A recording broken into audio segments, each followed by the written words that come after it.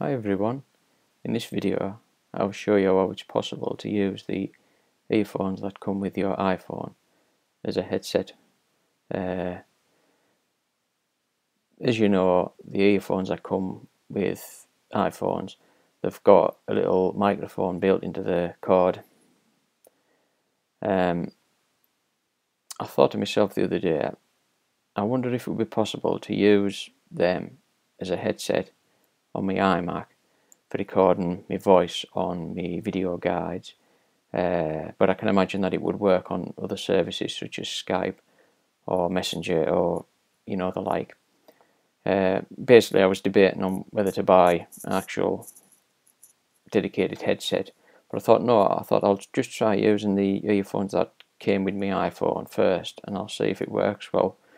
a little bit of googling and a little bit of trial and error, um, I've basically been able to discover that I can actually use the earphones that come with my iPhone and uh, I'll point out that I'm using the earphones that come with my iPhone to record this video guide.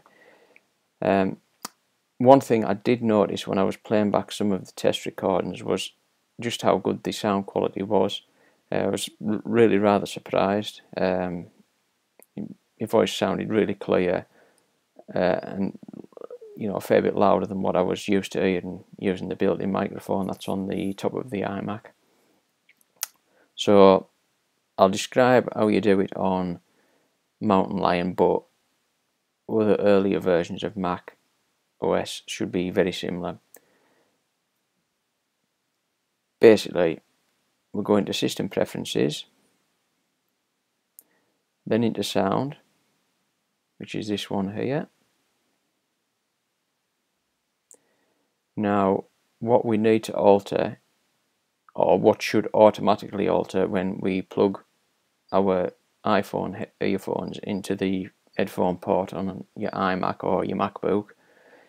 Um, when we click on the input tab, which is this one here, you can see in the devices listed below that the input type for sound on my iMac is the external microphone, which is basically the microphone that's built into the cord on the iPhone earphones. And as you can see there, it's saying microphone port, but it's actually plugged into the headphone port of the iMac. But obviously, with it having a microphone built into the cable, it allows this feature to uh, run through this port as well.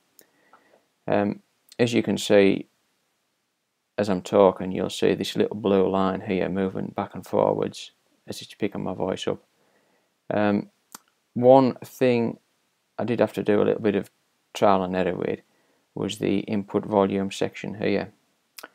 I tried having it 60% off uh, towards maximum, but I found that overall um, having the input volume right over onto 100% as it is now um, gave louder and slightly better clarity of the voice recording. Uh, and also, I found that you could talk at quite a comfortable level without feeling the need to have the microphone right in front of your mouth. Uh, so, I've set this on 100%. Um, the other option, which is optional if you want to use it or not, is the use ambient noise reduction.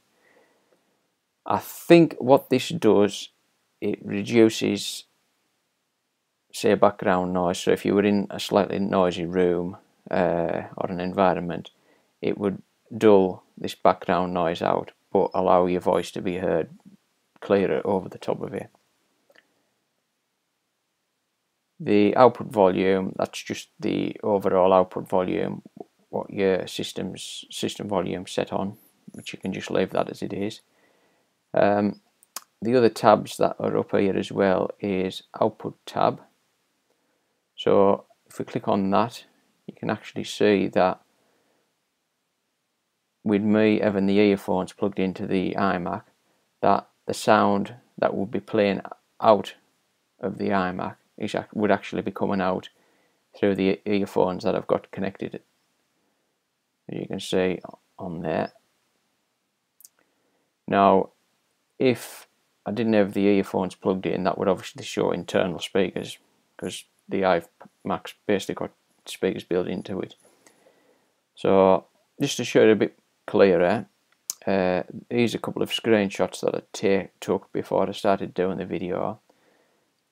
So this one was of the input section before I plugged the earphones in and as you can see prior to plugging the earphones in it was shown that it would the iMac was using the internal microphone which is built into the top of the case. So as you can see there built in internal microphone. And uh, just a secondary thing I've noticed as well is the internal microphone was set to use the input volume on 100% which is basically what I've got my external microphone set on now. So you can probably just leave that on, on 100% and just forget about it. Now this is a screenshot I took after I connected the earphones up and as you can see that changed from internal microphone. I'll just put them up side by side and then you can see for comparison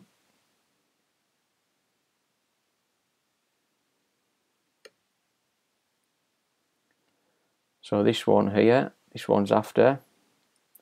You can see external microphone, microphone port. Input level is on 100%. This one is before the earphones were plugged in and as you can see it was set on internal microphone and it was built in and the input volume was on 100%.